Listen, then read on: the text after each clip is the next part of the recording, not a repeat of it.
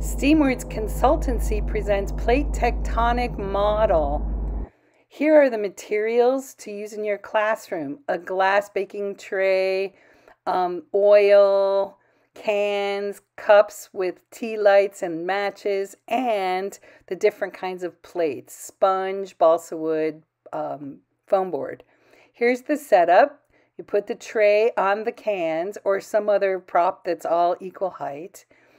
Then you add the oil, and it in this case, I I used a quart of oil, and I'll show you the depth.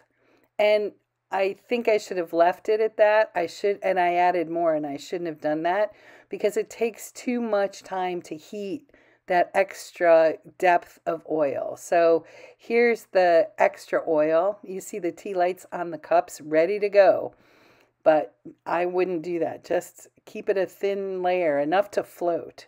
Okay, and this is, I put tarragon in as flakes to be able to see better, but oregano would be better. The tarragon is too big. So here's the balsa wood plates and the tea lights ready to go to slide underneath there.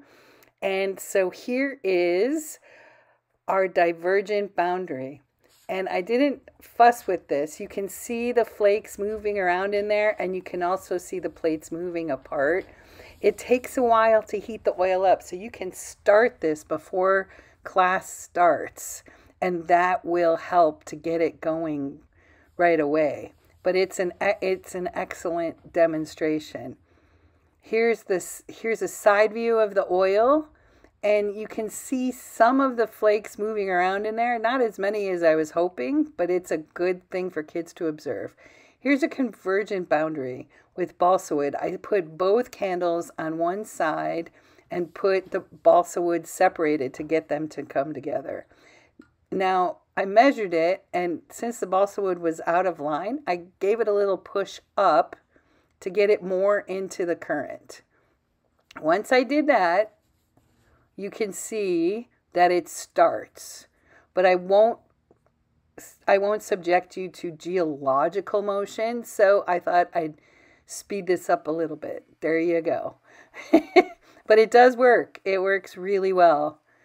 Okay, and then this is using foam board, which I thought was really great, and I highly recommend foam board. It's excellent.